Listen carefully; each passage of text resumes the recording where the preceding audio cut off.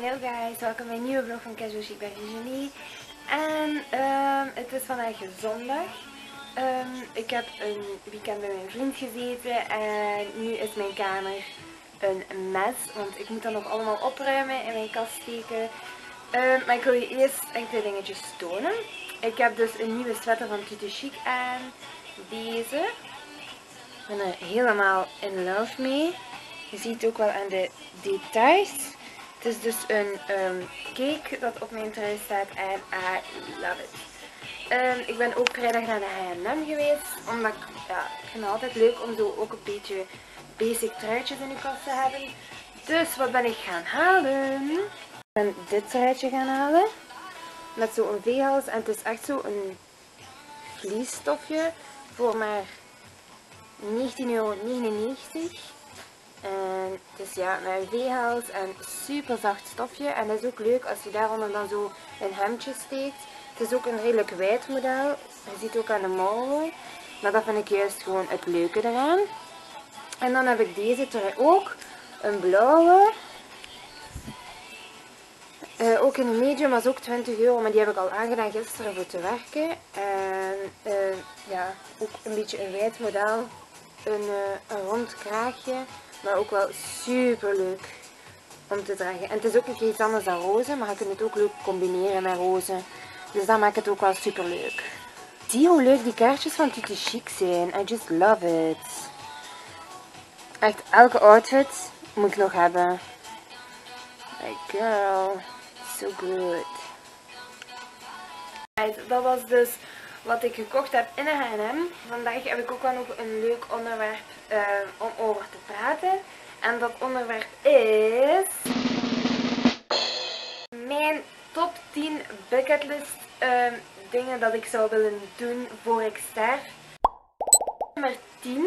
Ik denk op nummertje 10 zou ik sowieso Freya van Tutti Chic nog eens willen zien voor ik sterf. En uh, nog eens mee willen praten om haar nog eens ja, te kunnen zien, omdat dat wel een van mijn uh, grootste inspiraties is. En ik ben de grootste fan dus. En uh, ja, grootste, misschien een beetje overdreven. Uh, het zou gewoon wel leuk zijn moest ik haar nog eens kunnen zien. Nummer 9 zou ik um, sowieso ook eens een reis willen maken, want ik ben eigenlijk nog nooit echt ver weg van België gegaan. En dat zou ik sowieso wel nog eens willen doen. Um, en dan denk ik aan India, Bali, um, zo die dingen, echt zo die tropische uh, eilanden en zo vind ik ook echt wel leuk. Dus um, dan zou ik daar naartoe willen gaan. Op nummer 8, ik denk dat ik iets zou willen doen met mijn familie. Toch in het bijzonder mijn mama, want aan mijn papa heb ik niet veel. En mijn mama zou ik dan allee, graag met haar nog eens gewoon echt een, een girls weekend of zo hebben. Dat we ons uh, laten verwennen, shoppen, lekker gaan eten, die dingen. Op nummer 7, ik denk dat ik op nummer 7 iets met mijn vriend zou willen doen. Omdat, ja, ik ben vier jaar samen met mijn vriend, wel met heel veel ups en downs. Maar ik zou daar gewoon nog eens goed mee willen weggaan, um, willen praten, knuffelen.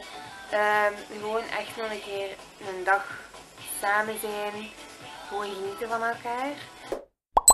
Nummertje 6 zou ik mij gewoon keihard donuts willen gaan halen en donuts opeten. Zure snoepen eten, mij echt gewoon vol proppen. Want ik ben niet van plan om uh, graadmager in mijn kist te gaan kruipen. Maar eigenlijk wil ik graag verbrand worden als ik... Allee, graag, ja.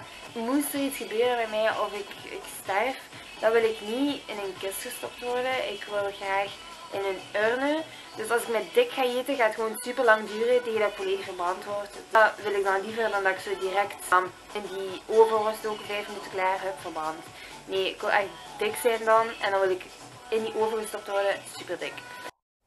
Nummer 5 zou ik uh, graag met Nixie. Die is echt doodmoe.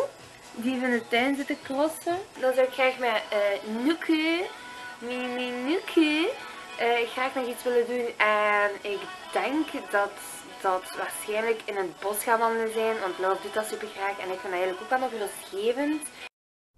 Op nummer 4 is dat een laatste Tutushi collectie kopen dan. Volledig opkopen, zodat ik uh, sterf met een kleerkast vol. Nummer, denk 3. Can't Forget My Friend. Uh, zou ik met mijn uh, beste vriendinnen Anaïs en Jolien goed gaan eten in de Kastaar of in een Amadeus. Uh, omdat dat echt hetgeen is wat we super graag doen. Is gaan eten in de Kastaar of in de Amadeus en daarna iets gaan drinken. Dus dat wil ik ook sowieso doen voor ik sterf. Nummer 2. Zou ik graag nog eens bij mijn oma willen gaan. Ja, mijn oma is een schatje. Dus uh, die zou ik dan echt nog een keer goed willen vastpakken en knuffelen. En uh, gewoon naar aan tafel zitten en luisteren wat ze allemaal te vertellen heeft. Uh, wat dat ze allemaal de laatste dagen ja, gedaan heeft. En gewoon een keer goed laten uitratelen. En gewoon daar zitten, luisteren met koffie of zo. Ah, zalig. En dan op nummer 1. Ik zou eigenlijk graag iemand bekend willen ontmoeten. Ik ben eigenlijk een super grote fan van Marco Borsato. En misschien weten jullie dat niet, but yep, it is. Dus op nummer 1 zou ik misschien wel Marco Borsato willen ontmoeten en uh, naar een concert gaan van hem of zo. I love him.